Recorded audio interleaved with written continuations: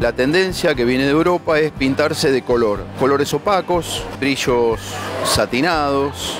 Hay hombres que se pintan con brillos, se arreglan las manos y se pintan con brillos. Y hay lacas transparentes también que no son tan brillosas, que son satinadas. Eso se pintan todas las uñas normalmente. Y combinar eh, el color de la uña con, con, la ropa, como un accesorio, ya sea pintarse una uña, eh, la uña que vos quieras, haciendo, digamos, composé o juego con la ropa que usás.